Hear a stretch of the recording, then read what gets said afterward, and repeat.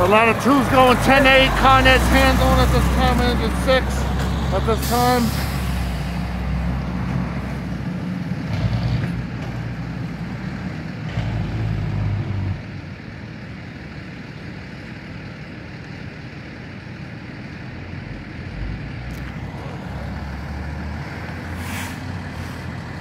Situation with the wire here on uh, Windmere.